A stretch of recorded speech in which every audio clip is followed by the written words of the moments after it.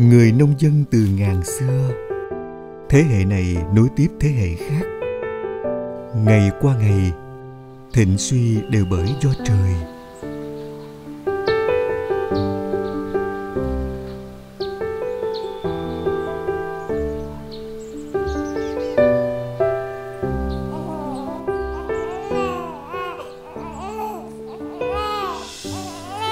Là đứa trẻ được sinh ra bên đồng ruộng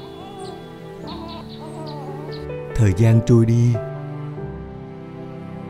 Tôi lớn lên bằng những giọt mồ hôi nhọc nhằn của ba mẹ tôi trên cánh đồng quê. Ước mơ đổi thay cùng những yêu thương mà ba mẹ dành cho tôi bao la như những cánh đồng. Con trâu là đầu cơ nghiệp, tài sản quý giá nhất của đời người nông dân. Ba mẹ vẫn chấp nhận hy sinh để đổi lấy tương lai cho tôi.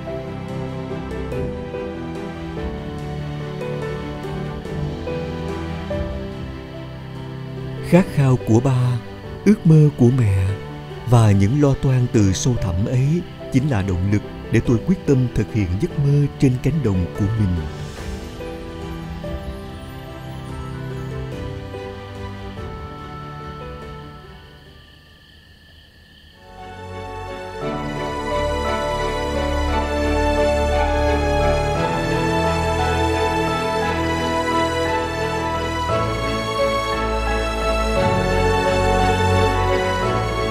Học bổng của phân bón Cà Mau đã tiếp sức để tôi thực hiện giấc mơ ấy.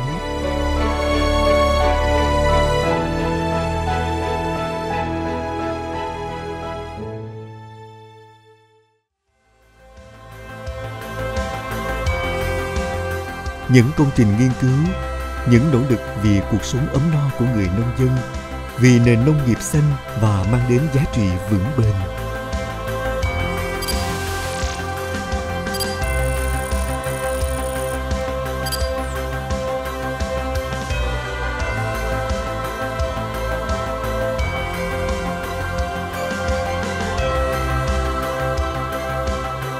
Tôi hạnh phúc vì những gì đã làm được cho ba mẹ tôi, cho cánh đồng của quê hương mình.